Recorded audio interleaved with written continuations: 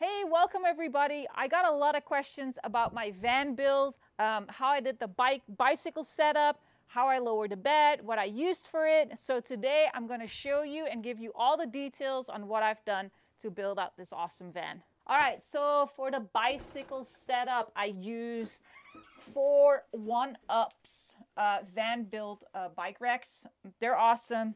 I screwed it into the floor, but they're on a slider bar, so I actually can move them around. That way you can fit multiple bikes in. I went for four. Um, that's plenty for me, and I also wanted to to leave some space here on the right side because I do have a dirt bike. Um, I have the mounting system here in the floor as well. It's pretty awesome. I can take it out. Um, so, you know, if I want to do a big road trip, four bikes, one dirt bike, it fits and I can even lower the bed. All right, so as you can tell right now, I have still plenty of space above my head.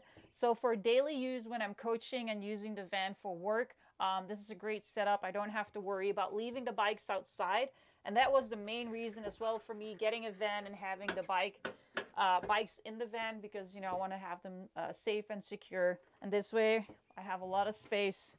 But the cool thing is I can still leave all the bikes in as well when I have the bed down. All right, so this is my dirt bike uh, lockdown. It's, it's really awesome because I can take it out when needed, but I can also just put it back in. Um, I have these bolted to um, the van, so screws go all the way through through the bottom. And then this works really easy with four screws. Put the back in when needed. And there you go. You got your dirt bike lockdown system in it. And the cool thing is with this as well, and I'm going to show you guys that in a minute, um, you don't need tie downs for this. So this locks down on the pegs, super sturdy, bike doesn't move around, and you don't have to worry about like uh, putting pressure on the fork with tie downs and stuff like that.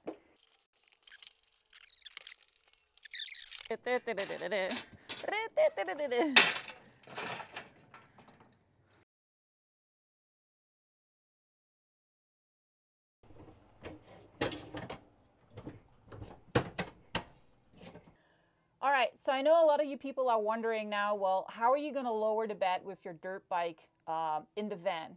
Okay, so I'm just, it's going to take like probably one minute to do, but I'm going to take the bolts out again, going to flip this down, move the dirt bike forward, just for the night so I can lower the bed. Um, if I'm out camping in the middle of nowhere, what I do is I leave the dirt bike outside, lock it up, and then put the bed down. But you know, if you're road tripping, um, and you can't leave the bike outside. Just takes two minutes um, to do this, but you know, it works and I can leave the uh, dirt bike inside. All right, so for the support system of the bed, um, what I used is these IKEA um, bed support systems. They actually slide in and out so you can adjust the width. Um, these are the brackets that come with it. Um, so I use that on the lower lower side because this is where I need the most support. This is where I'll be sleeping on it.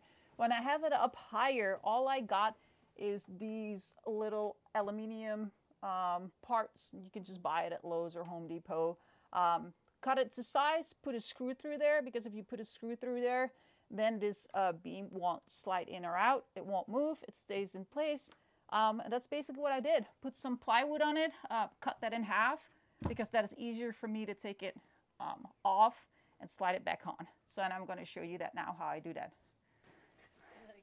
All right, so you ready for the show? Let's go. Let's get the timer going. Have these to actually tight uh, because you don't want to slam the brakes when you're driving and have a piece of plywood in the back of your neck. So just some extra security um, to make sure this all gets tight. Got some pillows up here, great for storage. Blankets, gonna take that off. Got a little foam mattress, gonna pull that out. And then I'm going to grab the pieces of wood.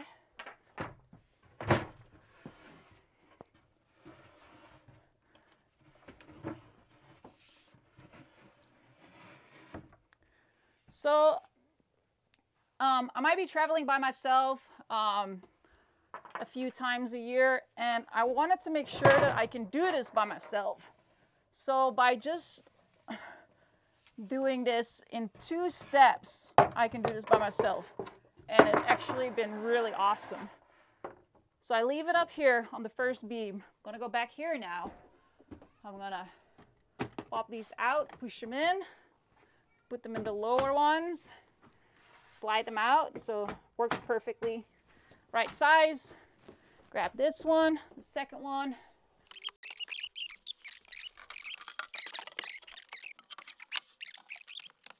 Go. Slide this one back into place. Grab this one.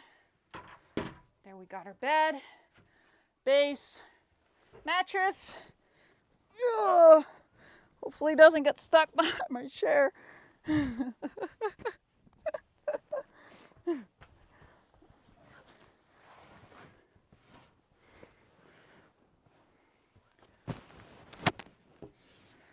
All right.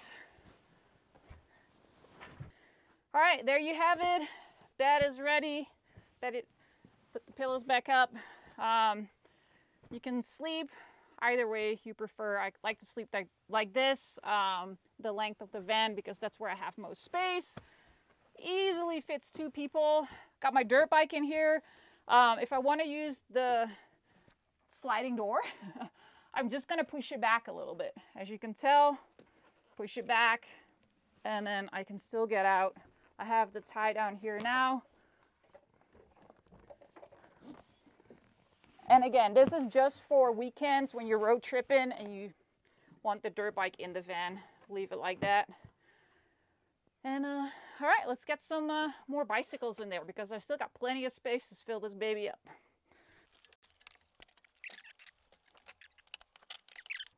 All right, so this is a setup if I, you know, would go on a longer road trip, uh, dirt bike, bicycles. Uh, if I want to push it, I could put four bikes in, but three is ideally, um, you know, I still have plenty of space for the dirt bike and the bicycles in there. And as you can tell, they fit in with the front wheel on. That was a big thing for me too, because especially coaching, riding bikes a lot, um, taking bikes in and out the van and having to take the front wheel out constantly. Uh, it's just like gets a bit tiring sometimes. So I love this that I can leave everything in, uh, pop them in, and uh, have a bed on top. Pretty stoked about it. Still have to do some final touch-ups uh, left and right. We're not done yet, um, but I heard a lot of people say, uh, van life, you're never done with your build, and uh, I do understand that now. Because it's a lot of work, but I'm super pumped. So if you guys uh, like it, like and subscribe to my channel because I will be posting more stuff as I keep finishing this uh, piece of art up. So I'm excited to take it out for a, a big weekend of riding and shredding.